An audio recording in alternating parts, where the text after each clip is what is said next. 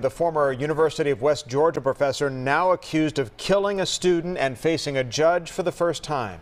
Carrollton police charged Richard Sigman with malice murder and the shooting death of 18-year-old Anna Jones. Good evening. Thank you so much for joining us tonight for Fox 5 News at 6.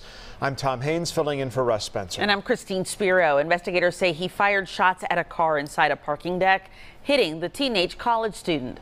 Fox 5's Rob DiRienzo has the latest on Sigman's day in court. The judge ordered that Richard Sigman remain behind bars until his next day in court. The now former business professor faces charges of malice murder and three counts of aggravated assault.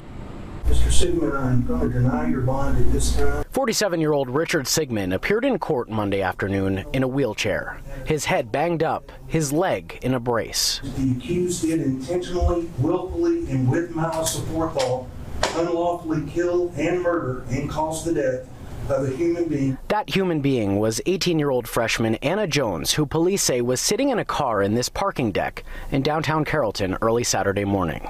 It's not clear if it was intentional, but investigators say Sigman had just threatened to shoot a guy at a pizzeria a little while earlier. The first warrant charges you with malice murder. He also faces charges of aggravated assault and possession of a gun while committing a crime. Over the weekend, the university said he was out of a job. Richard Sigman did fire a Glock 43 9mm firearm at Anna Jones, striking her in the neck and the ankle. Jones' family watched the hearing in the lobby of the Carroll County Jail. Her mom sobbed when he appeared on screen. They didn't want to speak out publicly right now, but friends we've talked to are at a complete loss. She didn't have anybody that hated her. Cheyenne Sexton says Anna had dreams of becoming an educator. She wanted to go and be a teacher. Um, she looked up to Miss Hodges. She was um, my husband's um, third grade teacher as well. And she just, she always had this love for kids.